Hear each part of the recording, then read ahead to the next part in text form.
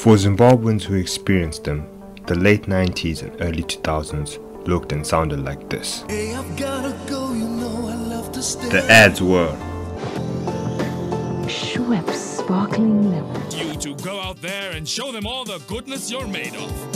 telecommunications was on the rise. We are Zimbabweans fully independent. We get our instruction directly from our people and from nobody This was the politics of the day. There was the land issue to fix, the money. The following images are self explanatory.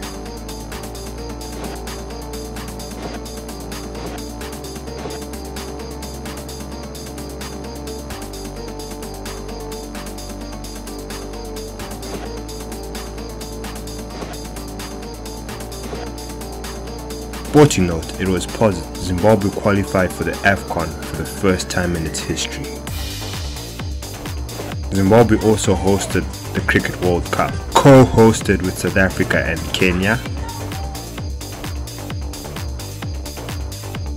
It was also during this time that Zimbabwean music experienced a rebirth, a renaissance for Zimbabwean urban music. Urban grooves exploded.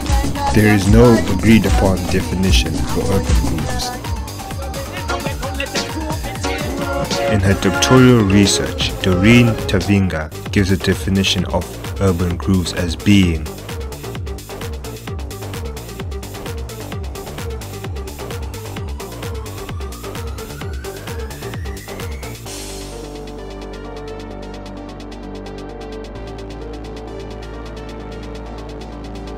Whilst Tendai Chari, in his article in Muziki, Journal of Music Research in Africa, uses a simple definition to describe urban grooves as being